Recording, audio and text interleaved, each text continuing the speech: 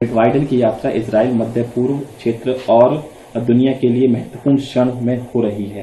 किस तरीके से देख रहे हैं मैं कहूँगा कि जो अमेरिकी राष्ट्रपति की जो यात्रा इसराइल की, की बातचीत हो रही है बहुत ज़रूरी है। It has a tremendous strategic importance एक तो बाइडन और बेंजामिन नेतन्याहू के बीच में चार दशक पुरानी दोस्ती है। दोनों बातचीत करते आए हैं।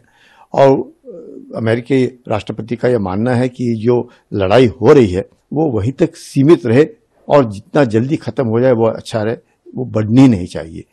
उस नज़रिए को अगर हम देखें कि किस प्रकार से वो चाहते हैं कि हमास जो है उसका भी खात्मा हो लेकिन जो वहाँ पे जो सिविलियंस हैं गा, में उनकी भी देखभाल होनी चाहिए उनको ह्यूमैनिटेरियन असिस्टेंस मिलना चाहिए। उस संदर्भ में ये यात्रा जो है बहुत माने रखती है।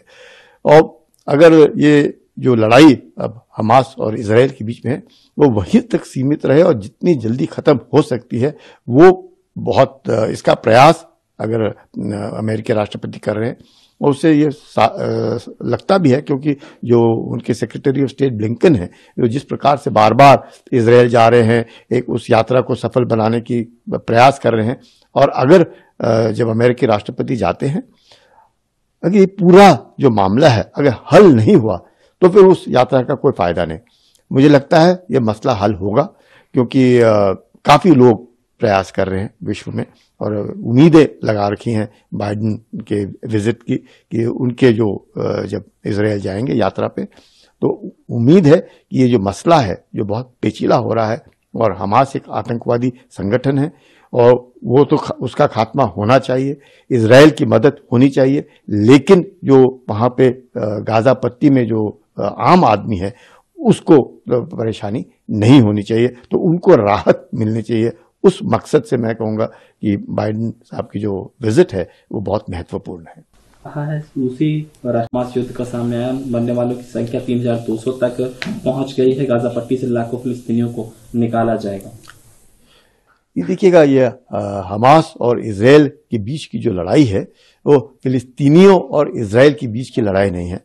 हमास एक आतंकवादी संगठन है और उस आतंकवादी संगठन ने इसराइल के ऊपर हमला बोला सात अक्टूबर को। उसके बाद जो कुछ हुआ है इसराइल ने किया है, वो देखते हुए तकरीबन आप जैसे कह रहे हैं, तीन हज़ार दो सौ लोग दोनों तरफ़ से काफ़ी बड़ी संख्या है जो मारे गए हैं। मुझे नहीं लगता है कि उन्नीस सौ अड़तालीस के बाद इतना कुछ नुकसान इस इलाके में हुआ है। तो बहुत ज़रूरी है कि जिस प्रकार से जो काउंटर ऑफेंसिव और जिस प्रकार से इसराइल ने अग्रसर होकर के गाजा पट्टी को बिल्कुल ही तबाह करके छोड़ा है और जिस प्रकार से उनके प्रधानमंत्री बार बार बयान दे रहे हैं कि हम हमास का खात्मा करके ही छोड़ेंगे, इनको धूल से मिला करके रख देंगे। तो इस तरह के बयानबाजी से साफ़ ज़ाहिर होता है कि इसराइल वाकई ही सीरियस भी है और उनको दुख भी है कि उनके इतने सारे नागरिक जो है बेगुनाह मारे गए, जिसमें औरतें, बच्चे, बुज़ुर्ग, काफ़ी लोग मारे गए, जिसकी शायद उनको अपेक्षा नहीं थी और इंटेलिजेंस फेलियर कहे, जो भी कहे, लेकिन इसराइल का नुकसान हुआ है। उसके बाद अब जिस प्रकार से गाजा पट्टी में आप देख रहे हैं कि नॉर्दर्न गाजा से तकरीबन नौ दस लाख लोगों का पलायन करना और गाजा पट्टी के अंदर भी जिस प्रकार से हमास ने सुरंगें बना रखी हैं, उसके साथ लड़ना एक बहुत चैलेंजिंग और बहुत मुश्किल काम है।